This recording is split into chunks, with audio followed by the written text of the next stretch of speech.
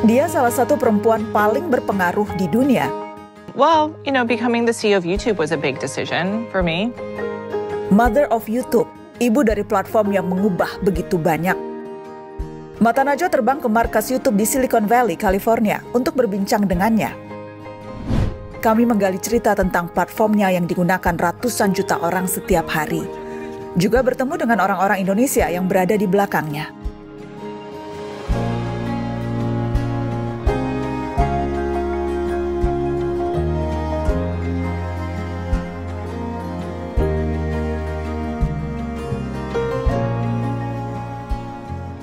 There's so much that we want to discuss with you.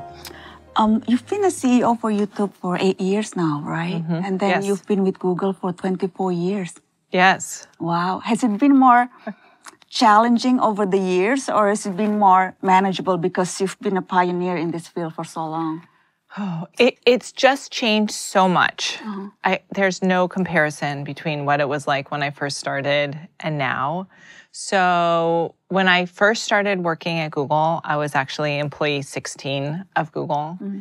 And Google had no revenue. Nobody had heard of Google. Mm-hmm. And so the challenges were very different. At mm-hmm. first was about like how, how do you create a brand? How do you build a brand? How do you make is this a product that people want? And now if you fast forward today, the challenges that we have are very different. It's about running a much bigger service, having a global brand, and um, there's also a lot more um, scrutiny um, and responsibility that comes with running a really big company. Semua berawal dari garasinya. Menlo Park, Silicon Valley, 1999. Susan menyewakan garasinya kepada dua mahasiswa Stanford University, Larry Page dan Sergey Brin, yang kala itu tengah merintis bisnis teknologi mereka, Google. because I actually joined Google with no revenue. It had just gotten started. It wasn't a proven company at all. In your and garage? it was in my it was in my garage. But the the thing I'm pointing out is I was it, the reason I wanted it in the garage. It was not because they were famous or doing anything great. It's because I wanted the rent. Just to be clear, I needed it to pay the mortgage of the house. So that was also a big important. That was the whole reason I had them there. Yeah, they weren't famous. Um, But and you sort of knew that they would become big. maybe Like a hunch or no. At first, I had no idea. okay. I had no idea when they first started. I just rented it for them for the rent. Um, but then, oh, as I started talking to them and I started using the service, I sh- I began to realize that they were onto something good. Um, and that's when I joined the company. But um, joining them was a big step. Um, I was actually pregnant. I had a mortgage, so joining a company with no revenue was not an obvious decision. Susan pun bergabung menjadi karyawan nomor 16, menjabat manajer pemasaran yang pertama di Google. Prestasinya, Google AdWords, AdSense, Analytics adalah contoh produk-produk ciptaan Susan. Tapi keputusannya yang paling meninggalkan impak bagi kita adalah menyarankan Google untuk membeli YouTube di saat banyak orang justru meragukan platform video ini. Well, you know, becoming the CEO of YouTube was a big decision for me.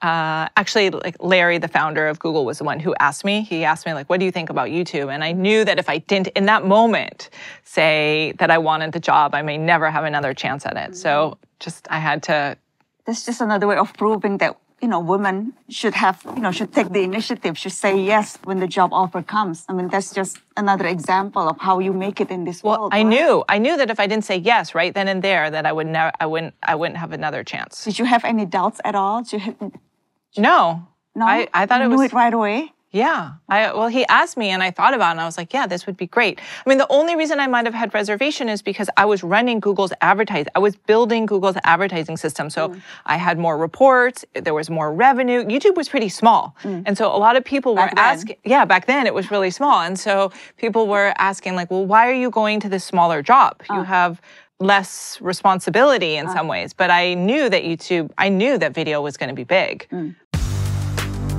Nilai YouTube kini 17 kali lipat harga akuisisinya. Dengan lebih dari 2 miliar pengguna aktif, YouTube berkembang menjadi platform raksasa dunia. Namun di sisi lain, sejumlah negara punya aturan khusus terhadap YouTube, termasuk memblokirnya. I want to talk about more about the um, how we've seen now there's this increase um, calls for regulations of big internet platform companies mm-hmm. in the areas of safety, privacy, business model competitions. And sure. you've been in the tech industry for 30 years. So, what do you think should be the approach in regulating the industry? Sure. Well, definitely, we are seeing a lot more regulation. Um, everywhere in the world. We're um, across the board, and I think it's you know it's uh, it's not just us. It's all types of technology and all types of media content. Yeah. And you know, I first want to just you know point out that I I do think that that um, services like Google and YouTube have enabled a lot of new voices, a lot of new information, um, and we've seen a lot of jobs, um, economic creation, and value that has come out of that, along with people's ability to educate themselves and um, get entertainment for free and mm. services mm. that are very valuable.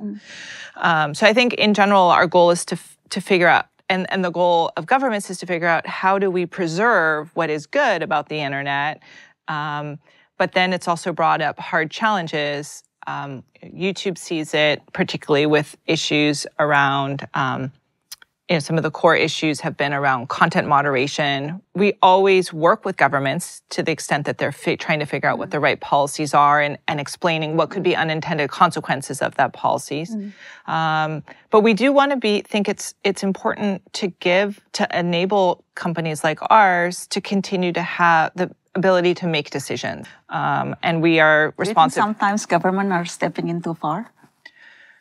Well, I, I mean.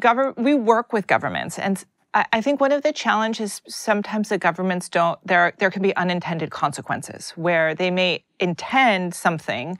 Um, they have good intentions. We're aligned with what those intentions are, but it could have consequences that would go far beyond what they ever intended. Mm. And if you see that happening, how does what you know what sort of steps that YouTube usually takes? Would you just talk directly to each government and trying to lobby them or what are what will usually happen behind those closed doors because right now in indonesia they are also they're all they're preparing a new regulations sure. that would make the platforms internet platforms that would they would get fined mm-hmm. even criminally charged mm-hmm. if they fail to take down an unlawful content for mm-hmm. four hours mm-hmm. And they said that this new regulation could be the toughest globally on social media mm-hmm. So, what's your take on that? I mean, it's still going on right now. The debate is still going sure. on. Sure. So we can see that happening. Sure. Well, so I mean, I, usually what ha- what happens when there is regu- there are regulations like that, we will meet with the government mm. and we will look at it because, of course, we also don't want to have unlawful information on our mm. platform. Mm. Mm. Um, but there's also a question of, you know, how is that defined? Of course. Um, it could be very arbitrary. Unlawful could mean like a lot of things to a lot of people. It could mean a lot of things to a lot of people. It also means what does it mean four hours? Is it four hours from when it was posted? Is it four mm. hours from when we were notified? Mm. Um, exactly. So, how is that actually defined? Mm. Um, and then, um, so we'll work with governments to make sure that it's something that can be you know, a like accomplished and mm. b that it accomplishes what they really want. Mm. Um, and um, sometimes our creators will also talk about it to the government hmm. because mm. the, you know, cre- the creators will be concerned because if there's regulation that's passed that impacts them that could hurt their business their ability to generate revenue or mm. have views you know it's important for the governments to know about that as well mm-hmm. and sometimes um, you know we've seen in certain part of the world government using these new regulations mm-hmm. to actually curtail the free you know, the, the freedom of the speech and then to curtail the free expression. So they're using this tool to suppress critical voices. Um, well, how does YouTube see that? I mean, using internet regulations to actually, you know, quiet down the critical voices in the country. I mean, we have seen that in some parts of the world, not not all parts of the world, and it's a worrying trend, though. It, it's it is it is a worrying trend. Um, but we but we see it in some parts more than other parts. Mm-hmm. Um, so and some governments more than other governments, and you know in general we want to enable political speech. So um, like when we do get requests that would involve suppression of political speech, that's a place where um, we're we're um, very um, hesitant or resistant to removing it. There can be many different cases. So there could be, and that's why I say every case depends mm. upon what's happening. It could be if there's some risk of civil unrest or danger to citizens, that's something that we would certainly look at. Um, but in general, we want to be enabling um, we want to en- enable people to express their points of view mm. um, and enable as much free speech as we possibly can have. Mm. That also happens with human rights. Of course. We'll also course. see that with human rights. And if we are worried that there's violations of human rights, that's another place. So we may get requests that we can't always honor from various governments as but a result of that. As a, uh, you know, being a private companies, can you do that? Can you like say no to governments? I mean, how do you draw the line? You know, where does the responsibility of the government and then the private companies and other stakeholders? it's, it's a really tricky balancing thing. It, it is. It is. And I will say that, you know, governments pass laws and we, um, we try to adhere to the laws as much as possible. Sometimes there's some gray areas about how it's interpreted. Mm. Um, but if you, for example, have a non democratically elected government and they're asking us to remove content that would be suppressing free speech of people who are being persecuted in some way, mm. that's a place where it would be, for example, of where it would be harder for us to to remove that content. Mm. We would we would keep it up. Tantangannya menyeimbangkan antara kebebasan berekspresi dengan kebutuhan melindungi audiens dari konten-konten negatif. Sepanjang tahun 2021, YouTube menghapus tak kurang dari 25 juta video karena melanggar community guideline mereka. Dengan jutaan video baru muncul di tiap harinya, tentu ini bukan tugas mudah.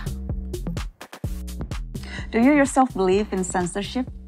Because you know some would argue that censorship can actually be counterproductive. If you want to fight misinformation is by doing that to have a free flow of information not by censoring it. What do you think? There are uh, lines that we draw that we think are not don't make sense for us to have on our platform like adult content. Like that was like probably the first policy that was made. Mm-hmm. if we had enabled adult content it would have really changed what the nature of youtube is. Mm-hmm. uh, so you know we look at um, like many different important areas. And we believe that it's important for us as a service. We're paying for the hosting of the platform, um, the distribution of that content. You know, we have an, we're an advertising supported content provider. Uh, if we have a lot of content that is seen as undesirable or not supporting society or not being responsible, um, we'll also see pullback from our advertising community. Mm. So, you know, we want to do the right thing, but we also, as a business, I believe, operate very differently than, say, the internet as a whole, mm. where people can go and post their information. Perempuan dan teknologi, dua hal yang kerap dianggap berseberangan. Tapi sosok Susan menjadi bukti yang bisa meruntuhkan konsepsi itu. Selain cukup vokal, ia giat mengadvokasi kebijakan-kebijakan yang lebih ramah terhadap perempuan bagi lingkungan kerja, termasuk meningkatkan jumlah karyawan perempuan di YouTube. And I remember reading your article in Vanity Fair. Uh-huh. I think it was called the Silicon Valley Boys Club. They're breaking up the, the breaking, up, breaking yes, up the breaking Silicon up Valley, yeah, Silicon Valley Boys I Club. Because it was so vividly described, uh-huh. you know, the implicit biases that women are facing in the workplace. Mm. And it's happening in every industry, especially in the mm-hmm. male dominated industry. Mm-hmm. My question is do you still face that challenges, or now that, you know, being the Susan Wojcicki, now the challenges are different for you? Really what I'm focused on right now are trying to support younger women mm-hmm. and women in the workforce. That's really my main focus and and trying to be a role model and trying to talk about being a woman and and challenges that I may have faced and how mm-hmm. I how I address them. Mm-hmm. So that's what I'm really focused on. I think technology is a great field. It's a growing field. It's where mm-hmm. the jobs are. It's what's mm-hmm. changing our world.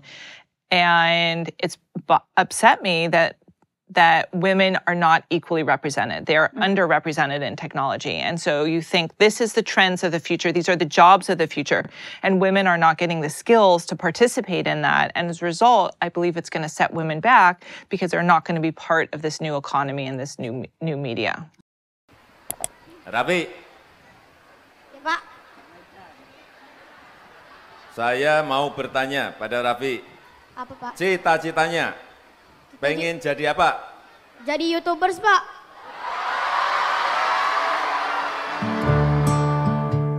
Keputusan-keputusan Susan dalam pengelolaan YouTube tentu terasa pengaruhnya sampai ke Indonesia. Sebanyak 139 juta atau lebih dari setengah populasi Indonesia adalah pengguna aktif YouTube. Tidak heran jika YouTuber jadi profesi yang banyak diimpikan anak-anak muda. Sebuah riset bahkan menyebut 31 persen remaja ingin menjadi social media influencer atau YouTuber. Kids nowadays, when Yes. they're asked, what do they want to be when they grow up? Yes. They don't say doctors or, you know, engineers anymore. They say they want to be a YouTuber.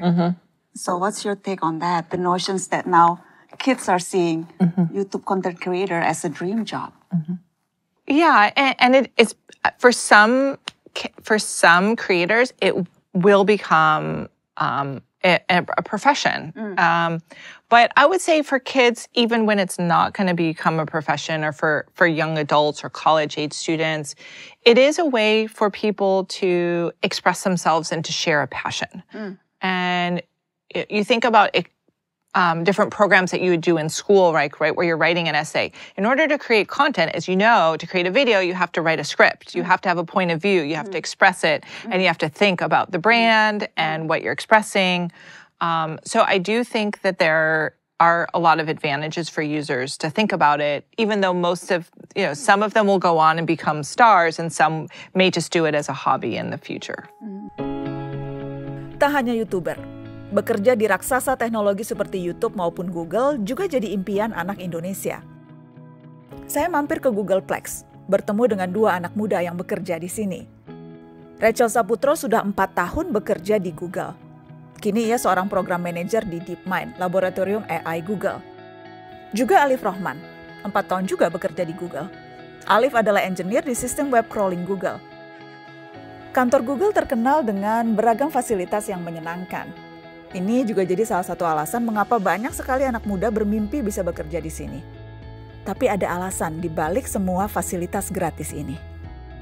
mungkin balance juga ya all about balance mbak Nana sini um, target kita target setiap tim lumayan agresif juga dan core worknya banyak pasti banyak tapi Kerja keras kak. iya iya Karena kalau di sini kayak main, terus nanti kita jalan-jalan, ada dinosaurus, makan, minum. Ini Iya. jangan-jangan nanti orang miranya kerja di Google sesenang-senang ini. Di target juga kan. dua-duanya lah Dua-duanya. iya work hard play hard iya Betul, betul. bener Dan memang the whole reason tujuan utama Rachel dan Alif kerja di Google untuk membu itu ya, memberi dampak. Itu apakah itu memang motivasi utamanya atau atau sesederhana kayaknya keren aja kerja di Google gitu. motivasi utama dan apakah memang merasa sudah dapat apa yang dicari dengan kerja di di tech company sebesar Google?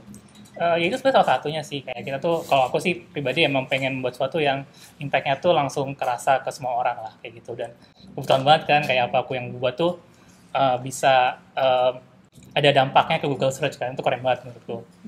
Em, tapi yang kedua tuh sebenarnya aku merasa kayak challenge technical challenge-nya itu jauh lebih susah di sini ketika eh, berhadapan sama jumlah data. Kan web tuh banyak banget kan berapa sih jumlah website di web itu mungkin jutaan lebih bahkan kan miliaran kayak gitu. Itu eh, teknik-tekniknya tuh jadi beda gitu. Jadi aku emang pengen belajar dari em, expert-expertnya yang udah bertahun-tahun mengerjakan hal itu. Jadi aku pengen mengabsorb otak mereka gitu. Kayak gitu sih Dan sebenarnya. kesempatan itu memang hanya Iya. bisa didapatkan kalau kerja di lingkungan uh, kantor yang memang talent poolnya iya iya itu besar dan sevariatif itu. Jadi merasa ter-challenge terus. iya kayak gitu bener Dan kalau kemudian cita-cita anak-anak atau anak-anak muda sesimpel mau seperti Alif mau kerja di sini juga gitu, sesimpel itu itu itu cita-cita yang valid kan? itu yang paling itu Iya kan? Iya, And iya, what iya. would you say to them?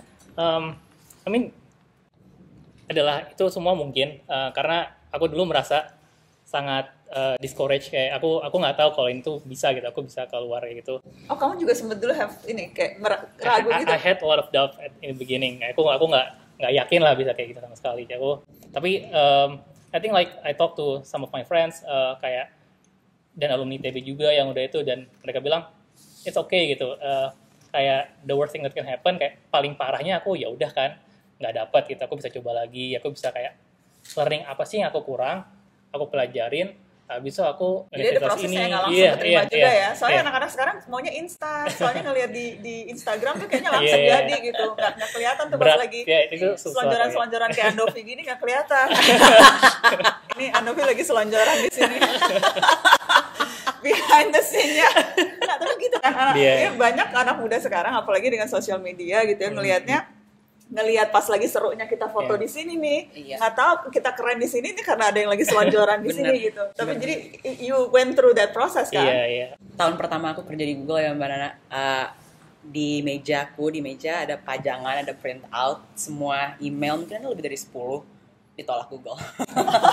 Karena aku dulu pengen banget kerja di Google. Jadi kayak aku apply mungkin kayak 7 sampai 8 kali dan aku print out semua rejectionnya. Aku sengaja pajang kamu taruh? Sengaja. Oh. karena itu kan yang kayak Alex bilang proses. Semuanya proses dan uh, kayaknya kalau mau belajar anything bisa. Um, kita bisa belajar resource banyak. Zaman sekarang digital semua ada dan banyak banget sebenarnya program mentorship dari uh, tinggal kita google aja sih sebenarnya. Kayak mentorship tech Indonesian mau yang dari sisi women ada mau yang dari sisi coding ada sisi segala macam udah banyak banget yang ada sekarang. Dan kalau oh, tadi bicara skill kalau bicara mindset mindset yang harus kita punya kalau we wanna foster this apa namanya environment dan juga foster lebih banyak lagi bisa lahir Indonesia Digital Talent mungkin mindset penasaran. I think asking questions Yeah. uh, atau penasaran tentang apa pun walaupun maupun topik atau skill atau industri kesehatan, finance, anything Yeah. itu bisa lead kita untuk menemukan challenge yang baru, menemukan solusi yang baru. Tapi it just all starts dari kita penasaran aja. harus kepo Harus ah, kepo, iya, bener. harus kepo ya. Harus itu, itu kepo. skill itu untungnya uh, di Indonesia sangat pintar yang kepo ya Iya betul betul. harus always stay curious Iya, ya stay curious. penasaran Iya. pengen tahu dan juga jangan cuma berhenti di penasarannya Hmm. Iya. cari tahu gitu ya Iya. Iya. pengen tahu dan cari tahu kalau aku nambahin lagi sebenarnya mindset uh, terbuka sih jadi kalau misalkan um, ya hargain pendapat orang lain kalau misalkan semua punya pendapat mungkin pendapat kamu benar tapi mungkin juga ada sisi lain gitu jadi kalau misalkan um, kayak different different opinion kan sebenarnya bisa dikembangin jadi uh, ketika buat produk gitu kan semuanya bisa ke cover lah kayak gitu. Karena semua opinion itu bisa valid. Kayak gitu sih. Terus sama kalau mau ndawain tadi sebenarnya salah satu challenge buat tech Indonesia itu sebenarnya akses sih. Kayak uh, sekarang kan semua produk tuh semua nggak semua sih sorry tapi kayak kebanyakan tuh fokusnya masih di ibu kota kota-kota besar. Indonesia kan kepulauan um, kayak gimana caranya orang-orang Indonesia yang nggak tinggal di kota besar juga dapat uh, efek positifnya kayak gitu So how do you see Indonesia's role? Um, I mean, we are the fourth most populous country. I mean, a hundred million people daily now tune into YouTube. So um, how do you see? I mean, how can we play like a more active role, not just as a consumer, but also, you know, as a content creator, create more content, actively involved in this creative new ecosystem?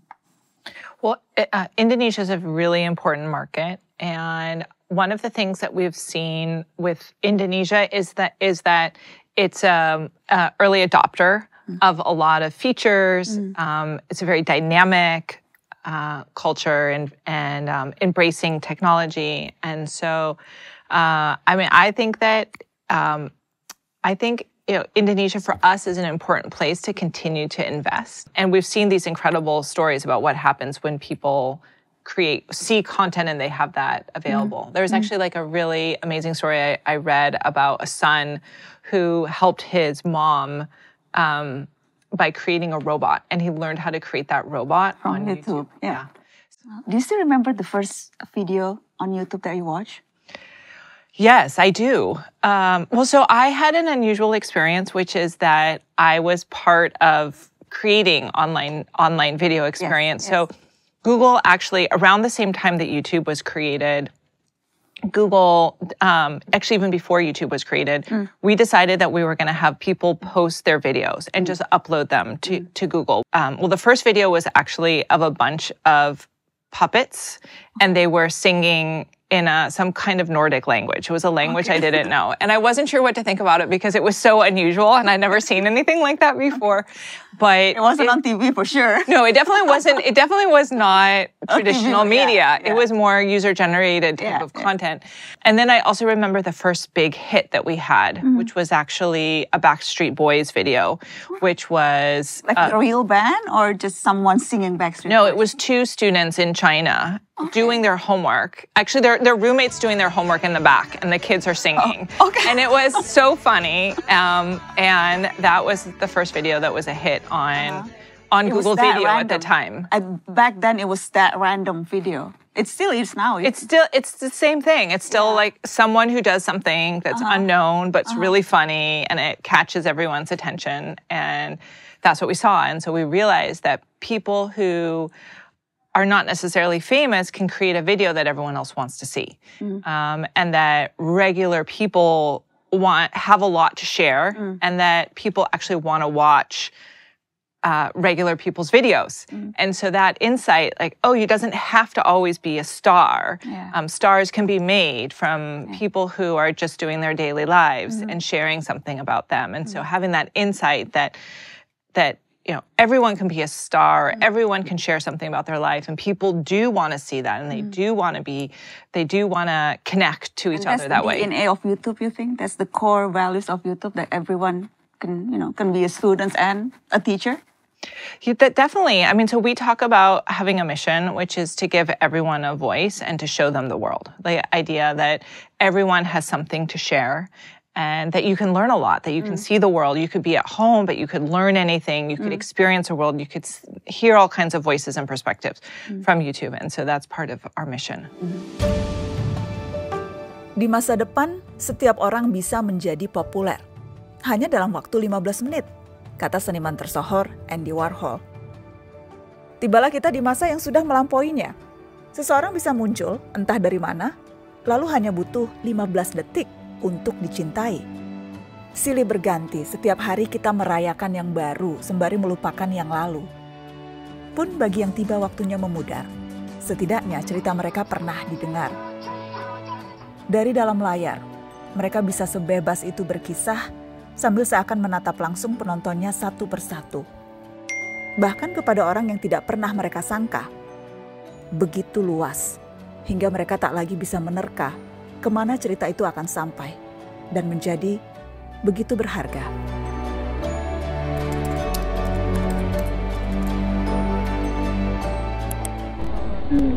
Alright, so here we are, one of the uh, elephants. Um, cool thing about these guys is that, is that they have really, really, really long um, trunks, and that's that's cool. And that's pretty much all there is to say. You know, but YouTube has actually like shaping the culture, shaping the world, has big responsibilities. Sure. Does that weigh got to you sometimes, being you know, to have that enormous power and responsibility? There, I mean, there are definitely times where it does weigh on me, and I, but I also really want to be thinking about how to go out to the experts and get mm. the best advice from the experts. So, but it does weigh on me, and there are times that something happens where I see something and and you know I I, I want to do a good job. I want to be responsible. I want to help people, and so there are times where there's something that I see that could upset me, or I, I worry like how can we how can we help. Mm-hmm. And what do you usually do when those times come? Watch YouTube? Um, no. I usually get on the phone. like a work for you now? No, I usually send an email okay. to, to the people that work for me okay. about how we're going to fix the situation. Okay. So it's still working. I mean, like, you know, how do you relax yeah. and...